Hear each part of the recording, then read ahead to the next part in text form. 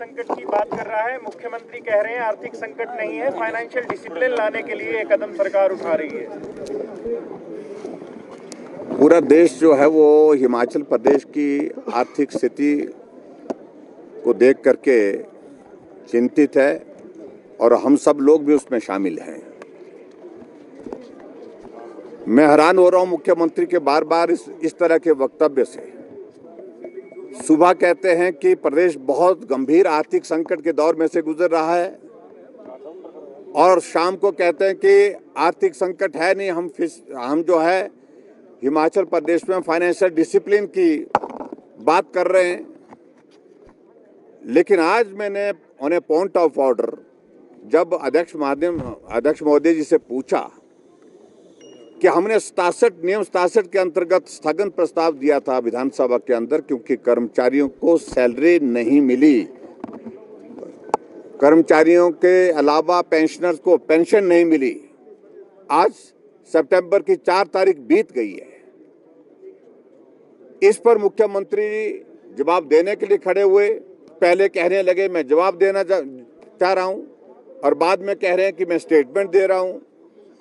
हैरानी इस बात को लेकर के है कि दो वर्ष का कार्यकाल हिमाचल प्रदेश में कांग्रेस पार्टी की सरकार का होने जा रहा है।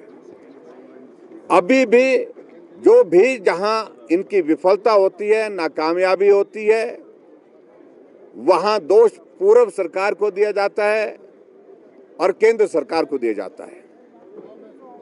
हमारे समय में भी इस तरह से हालात बहुत ज़्यादा ऐसे नहीं थे कि आर्थिक दृष्टि से हिमाचल बहुत मज़बूत था, लेकिन फिर भी हमने उस जिम्मेवारी को समझा और उस जिम्मेवारी का निर्वहन किया। बतौर मुख्यमंत्री, बतौर फाइनेंस मिनिस्टर हमने समय पर सैलरी दी, समय पर पेंशन दी। और डीए की किस्तें जारी की। एरियर्स थे, वो पेंडिंग उसमें बहुत सारी राशि दी। पेंशन जो भोगी हैं, उनके बिल बहुत सारे पेंडिंग थे कर्मचारियों के। जो हॉस्पिटल के जो रिम्बर्समेंट के, वो भी पेमेंट की। लेकिन आज की तारीख में हम सिर्फ़ इतना ही जानना चाहते थे मुख्यमंत्री से कि आप तारीख तो तय कर दीजिए कि किस तारीख को, क्योंकि कर्मचारी रोज़ाना अपना, अपने मोबाइल पर मैसेज देख रहा है। पेंशन पेंशन, वो भी मोबाइल पर देख रहा है, मैसेज आया कि नहीं आया, पेंशन आई कि नहीं आई, सैलरी आई कि नहीं आई। तो उसके लिए तारीख निर्धारित कर दो। आज मुख्यमंत्री ने कहा कि हम पाँच तारीख तक सैलरी देने की स्थिति में नहीं है। ये स्थिति प्रदेश के सामने स्पष्ट होनी चाहिए। इसका मतलब है, हिमाचल प्रदेश का आर्थिक संकट के दौर में से गुजर रहा है, जिसको मुख्यमंत्री स्वीकार क्यों नहीं कर रहे हैं? विकास के तमाम सारे कार्य बंद कर दिए और जितनी जनहित की योजनाएँ थी, उन सबको बंद कर दिया। पेंशनर्स और कर्मचारियों को सैलरी और पेंशन देने के लिए आज की तारीख में इस प्रकार के जो हालात बने, निश्चित रूप से ये चिंता का विषय है और पूरे देश भर में हिमाचल प्रदेश की आर्थिक स्थिति खराब है। इस बात को लेकर के इतनी गंभीर चर्चा चली हुई है। पूरा देश पूछ रहा है कि आखिरकार हिमाचल प्रदेश में दो महीने की, दो साल की सरकार, कांग्रेस पार्टी की सरकार ने आखिर ऐसा क्या किया? ये सारी गारंटियाँ जो वादे किए थे, जो कमिटमेंट की थी उनने सत्ता में आने के लिए। आज कह रहे हैं कि हमको फ्री बीज से बचना चाहिए। लेकिन सत्ता में तुम आए ही इस वजह से हैं क्योंकि आपने लोगों को झूठे आश्वासन झूठी गारंटियाँ दे करके लोगों को गुमराह किया था। सर ब्याज बचाने के लिए ये निर्णय लिया गया। इसको किस तरह से तर्कसंगत देखते हैं? हैरानी की बात है आवश्यकता दो हज़ार करोड़ रुपए की और वो कह रहे हैं कि दो करोड़ बचाएँगे तीन करोड़ बचाएँगे। ठीक है वो भी बचाएँ उसमें हमें कोई आपत्ति नहीं है वो उनको करना चाहिए। ये हमने भी की है इस ऐसी चीज़ें। और ख़ास तौर से जो जो ब्याज की लाइबिलिटीज़ इस प्रकार की फाइनेंशियल लाइबिलिटीज़ उनको वो करने के लिए।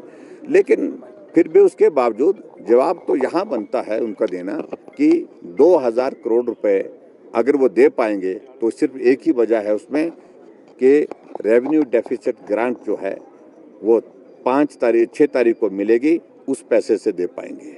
और उसके बावजूद भी ट्रेजरी से ट्रेजरी से ये साढ़े सात सौ करोड़ रुपए ओवरड्राफ्ट करेंगे। जो लिमिट है, उस लिमिट के माध्यम से लोन लेंगे। तब 1200 करोड़ रुपए से सिर्फ़ सैलरी देने की स्थिति में हो पाएँगे। उसके बाद 10 तारीख के बाद मुझे लगता है कि ये पेंशन देने के लिए जो केंद्र का, जो शेयर का, जो टैक्सेस का, जो शेयर का हिस्सा आता है सेंट्रल टैक्सेस का जो शेयर आता है, जब वो मिलेगा, उसके बाद फिर 800 करोड़ रुपए का इंतज़ाम उसके बाद हो पाएगा।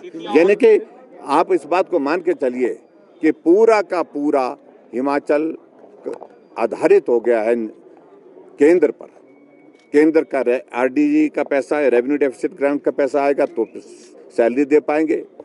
और केंद्र से सेंट्रल टैक्सेस का शेयर आएगा तो जाकर के जो है पेंशन देगी। ये स्थिति है। भविष्य में लग रहा है कि और भी ये संकट मुझे लगता है कि बहुत गंभीरता की ओर बढ़ रहा है ये चिंता का विषय हम सब लोगों के लिए। रीजन मानते हैं क्या फ्री भी इसका एक बहुत बड़ा कारण है। बहुत बड़ा कारण है। जो जगत सिंह नेगी ने जो एक कंगना